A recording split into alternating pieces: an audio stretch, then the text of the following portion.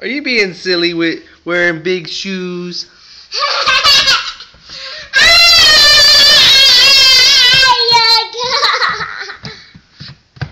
You are.